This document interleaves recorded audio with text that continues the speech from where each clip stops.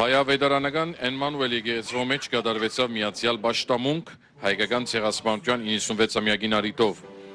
Նախանվակեն յետ Բադվելի հրայր Չոլակյան ընթերցեց պաշտամունքին գոչը, ուրան շեշտեց, որ հայկական ցեղասպանությունը համայն մարդկության ուղված ոչիր մնե։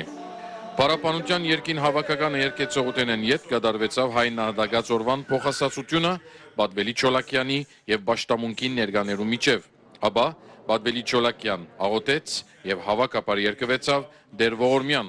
որմե յետք Հրակ Ավետանյան ընթերցեց Ժաքսե Հակոբյանի վերջապանը։ Վերաբադվելի Սողոմոն Կիլաբյանի հողվական աղոթքեն յետք դարձյալ հավաքապար երկվեցավ հավատքս չեմ մորանա երկը։ Աբա Աստվածաշունչեն հատված մընթերցեց վերաբադվելի Հովանես Սվաջյան, որ նաև դվավ օրվան պատկամը։ Վերաբադվելին ասա, որ հայ ժողովուրդը պետք չէ ցերնածալը սպասե, որ Թուրքիա ճանչնա հայկական ցեղասպանությունը եւ հայ ժողովրդին հադուցում դա։ Անշեշտեց, որ ոչինչ կդրվի եւ հայտարարեց, թե մեր տադին համար ոչ թվական, ոչ ալ ժամանակ պետք է ճշտվի։ Վերաբադվելին գենսական համարեց միասնականությունը հայ ժողովրդին համար, որբեսի գարելի լա արդար իրավունքները ցերկ ցկել համահայկական ջիկերով։